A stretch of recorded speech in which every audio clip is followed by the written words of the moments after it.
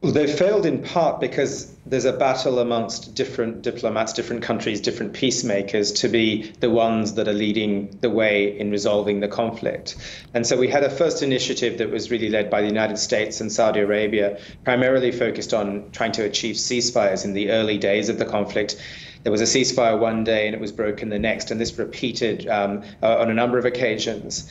Um, since then, the US has sort of backed off that initiative, realizing that it's not achieving much, and into the fray uh, primarily two different competing uh, regional players have come um, sorting, see, sought to make peace. The IGAD, which is the regional organization of African states in East Africa, primarily led by Kenya and Ethiopia, um, have launched an initiative. But just very recently, Egypt also launched its own initiative and invited a number of states to, to, to come to a meeting that it held in Cairo. Um, so what we're seeing is competing initiatives, and the, the armed movements in this case, the two belligerents, the Sudan Army and the Rapid Support Forces, are very adept at navigating these kinds of rivalries amongst diplomats, all the while gaining some some legitimacy uh, and deferring real action while they prosecute the war on the ground. Um, Are we so going to see? I, am sorry to jump in there because uh, you said that efforts from Saudi Arabia and the United States have for the most part failed to bear fruit. So, given that, can we see regional heavyweights like Egypt step in and hopefully resolve things? Well, so long as there's no coherent single initiative um, that the players, uh, the, the protagonists in the conflict feel compelled uh, to relate to, any of these initiatives are liable to fail. Uh, it's too easy for them to do what is called forum shopping and move between one initiative and the other and play off one against the other.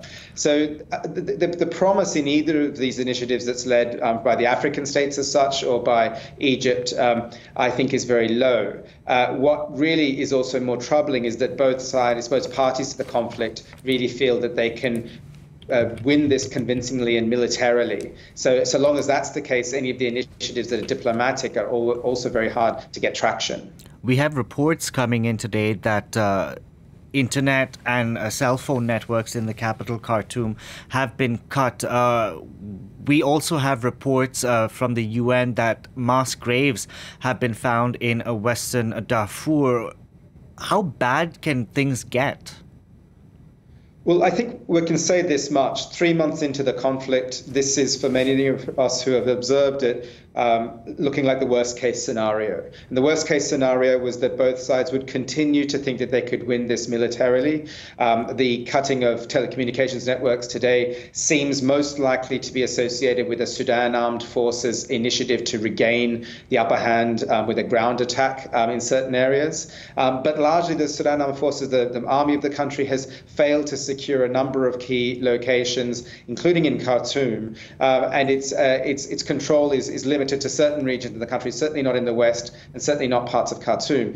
Um, it has air superiority, whereas the Rapid superior, uh, Support Forces is very effective on the ground and in urban centres, um, operating often within civilian environments. So while they both think that they can actually win this war, and while they both have very different strengths and weaknesses and regional strengths, um, this war just continues to get worse. And it really is conflagrating what we've seen in Darfur, in, in, in certainly since the start of the conflict, but especially in the last six weeks um, is, tr- is the worsening of the violence, um, not primarily always um, uh, violence between the Sudan Armed Forces and the Rapid Support Forces, but also with other actors getting involved. Besides the, the forced migration, what are some of the other risks uh, that could happen if this conflict were to, def- you know, evolve into an all-out civil war?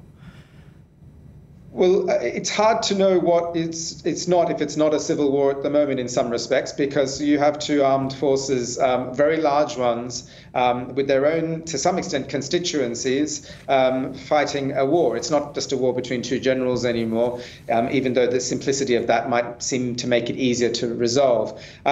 The, the level of suffering of the Sudanese, I mean, you've talked about the, the numbers displaced over 3 million, um, the deaths, which really are, un, are, unreckoned at the moment. We really don't have a good grip on the civilian deaths, but also just the destitution and suffering, um, the targeting, the pillaging, um, the, the, the, the uh, destruction of health facilities, of markets, of livelihoods. Um, this could play out at a scale within Sudan for the, the, the, many millions of Sudanese across the country in ways that are unimaginable. And that's the first concern above all. Um, certainly, beyond that, there is the concern of some um, contagion into the region, um, that the regional actors getting involved and that are vying to be involved, but also, for example, with Chad, that the very spillover mm. into Chad of displacement as well as armed groups creates new dynamics that we can't see right now. But first and foremost, it's the Sudanese um, who are bearing the brunt in a very severe way.